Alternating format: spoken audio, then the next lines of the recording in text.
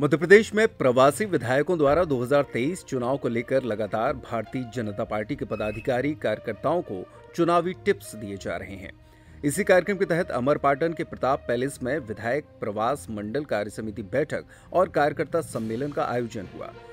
राज्य मंत्री राम खिलावन पटेल भी इस सम्मेलन में शामिल हुए थे। इसी दौरान भाजपा मंडल के सभी पदाधिकारियों, कार्यकर्ताओं और महिला मोर्चा को प्रवासी विधायक प्रेम सागर पटेल, शिसबा विधानसभा उत्तर प्रदेश द्वारा संबोधित किया गया। 2023 के चुनाव को लेकर कार्यकर्ताओं में विधायक द्वारा लोगों को चुनाव में किस तरह से काम करना है, हर बूथ और मंडल में किस तरह से लोगों को भाजपा के लिए आकर्षित करना है और उनके बीच जाकर प्रदेश और केंद्र की जन कल्याणकारी योजनाओं के संबंध में किस तरह जानकारी प्रदान करनी है, इस बारे में बातचीत की गई। अभी माननीय हमारे अमित शाह जी आए थे, जिन्होंने भारतीय जनता पार्टी को दुनिया का सबसे बड़ा दल बनाया है, वो कह के गए हैं कि हम डेढ़ सौ सीटों से नीचे समझौता नहीं करेंगे।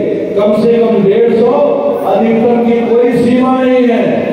और यह भी कह के गए हैं, चुनाव आप सब जिताने का काम करेंगे। हम लोग तो जामवंत हैं। जामवंत ने कहा कि अयोध्या को बजरंग बली भगवान आप इस समुद्र को लांग लांग करके सीता का पता लगा सकते हैं।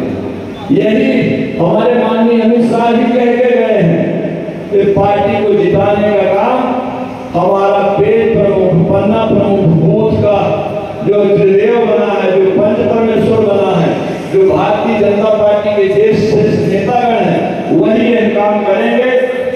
दुनिया के आज सबसे लोकप्रिय नेता है वो तो आदरणीय अटल बिहारी वाजपेयी हैं उन्नीसवीं सदी में स्वामी विवेकानंद कह के गए थे इक्कीसवीं सदी में कोई फकीर आएगा वह दुनिया का नेतृत्व करेगा और आज वह दुनिया का नेतृत्व कर रहा है उस समय देश को आज़ाद कराने में महात्मा गांधी नंबर एक में थे और नंबर दो में सरदार पटेल थे।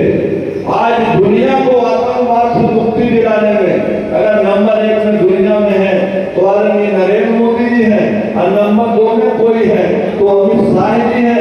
निश्चित रूप से हमें ऐसा